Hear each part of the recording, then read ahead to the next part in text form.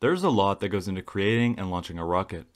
This especially is the case with extremely ambitious designs featuring partial reusability, unique materials, engines, and so much more.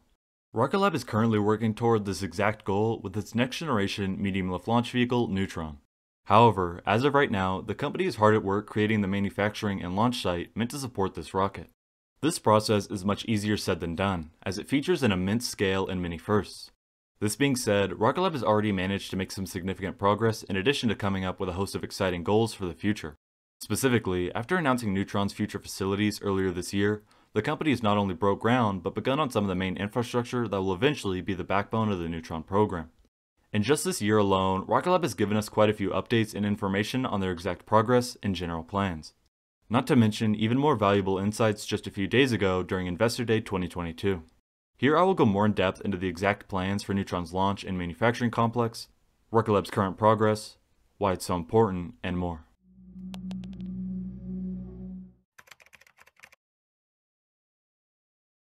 Back in February of this year, Rocket Lab announced it had selected Wallops Island, Virginia as the location for its first launch site and extensive manufacturing and operations facilities for its 8-ton payload class reusable Neutron rocket. This original announcement was quite a big deal and marked the start of operations surrounding Neutron's future complex. At the time, the update provided a host of different information and plans for the future of this site, but practically no physical progress had been made at that point. However, just over a month after this initial announcement, in early April, Rocket Lab officially broke ground on the construction of the site. At the time of this announcement, CEO of Rocket Lab Peter Beck said, Neutron is a next generation rocket designed to serve the needs of the civil, commercial, and national security space markets, and we're proud to be delivering that capability from right here in Virginia. Today, we take a major step toward resilient and assured access to space for the nation, a capability that has become increasingly urgent in recent times. We are excited to grow Rocket Lab's presence in Wallops to add highly skilled jobs to the local economy, and to play a part in reinforcing the Eastern Shore's strong legacy as an aerospace hub. We are grateful for the continued support of the Commonwealth of Virginia and Accomack County for its enthusiasm in helping to establish Rocket Lab and Neutron on the Eastern Shore.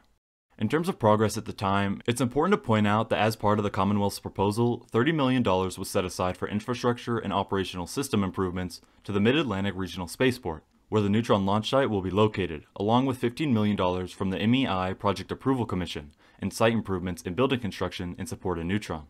All of which gave Rocket Lab the opportunity to begin different construction and additional planning right away. This leads up to the most recent information during Rocket Lab's Investor Day. The first big piece of information regarding this launch and manufacturing site was a new video showing off a large robot printing Neutron structure. During the presentation, they highlighted that this video and construction are coming from a factory in Virginia at the future launch site. This confirms the fact that not only is Rocket Lab already constructing Neutron, but they have a decent amount of infrastructure already in place in Virginia to create this launch vehicle. Next, they showed off a few images of large concrete pads being poured at the launch site. Here they included some significant news, such as the plan for the first Neutron production complex building to be standing by the end of this year. Being that it's already almost October, in just a few months we could expect to see full buildings underway at the site. Looking back at the concrete pictures provided, they clarified that Rocket Lab is expecting to build its first Stage 1 tank above this very concrete. They also pointed out that the site serves as a development area for tank testing, enabling rapid build and test iteration. The last new update on the launch and manufacturing site of Neutron during the Investor Day presentation had to do with a render of a possible future launch site. In this image you can see multiple launch and landing pads for Neutron, along with a large bay responsible for moving and stacking operations. Specifically, this included a static launch mount surrounded by multiple propellant farms and fluid storage.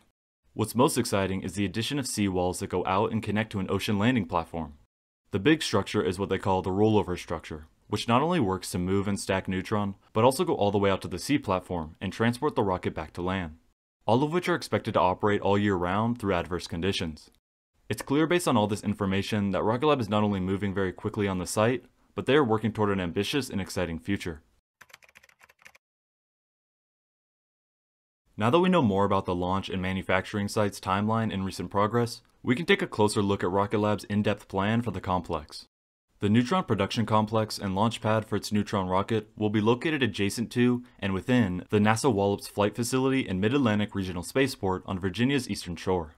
The complex will be home to a rocket production, assembly, and integration facility, as well as a dedicated launch pad for the Neutron rocket, located on the southern end of Wallops Island. The estimated 250,000 square foot state of the art complex will be constructed on a 28 acre site adjacent to the Wallops Island Flight Facility and will include a launch control center, Rocket Lab's fifth global operations center for launch activities and on orbit operations. To support rapid production of the Neutron rocket, current plans for the complex include automated fiber placement robotic production systems capable of laying up meters of Neutron's new, specially formulated carbon composite structures in minutes. As a reusable rocket, Neutron is designed to land back on the launch pad after a mission, and from there it would be returned to the production complex for refurbishment and reflight. As for the manufacturing complex, this will be located within proximity of Rocket Lab Launch Complex 2, the company's launch site for the Electron launch vehicle. Rocket Lab selected Virginia as its location of its Neutron expansion on the strength of the extensive support from the Commonwealth of Virginia, along with a host of other reasons. As I mentioned prior, Rocket Lab received quite a bit of money in relation to choosing this location for the future of Neutron operations. In regards to the Virginia location, Rocket Lab Vice President of Launch Systems, Shaun D'Mello said, We've enjoyed a solid partnership with Virginia for years that will no doubt be strengthened with Neutron. We have a shared mission to develop Rocket Lab's presence at the Mid-Atlantic Regional Spaceport into a strategic national asset that provides responsive, reliable, reusable space launch through Neutron and Electron, and breaking ground on the site is a significant and impelling step toward that future. In addition, to better put this relationship in perspective, Senator Mark R. Warner said, Virginia has been a leader for the United States in space development, research, and exploration. This exciting new partnership, which will include the construction of a launch site and manufacturing hub for Rocket Lab's new reusable Neutron rocket, is the latest in aerospace advancement for the Commonwealth. This new facility will not only continue to help boost our nation's competitiveness in aeronautics, but will also serve as an investment in Virginia's economy by bringing over 200 jobs to the Eastern Shore. This project is great for the Eastern Shore and all of Virginia, and I look forward to working with Rocket Lab for years to come. Not only this, but Senator Ben Cardin said, Growing the already robust launch capabilities at Wallops Island is a smart investment that will attract even greater high-level talent to the region. Lastly, NASA's Wallops Flight Facility Director, David Pierce said, NASA's only owned and operated launch range at Wallops Flight Facility supports small and medium-class orbital rocket launches and continues to grow our nation's space economy. Rocket Lab's decision will bring more good-paying, high-tech jobs to the Wallops region and proves our industry partners recognize NASA's spirit of relentless innovation along the eastern shore and throughout the country. Rocket Lab is currently working on a host of different projects with the greater goal of becoming a one-stop shop within the space industry. In just the last year alone, the company has announced plans for Neutron's future facilities, broken ground at the site, and begun manufacturing the rocket at this new location along with setting concrete and more. We will have to wait and see how it progresses and the impact it has on the space industry. Thank you very much for watching.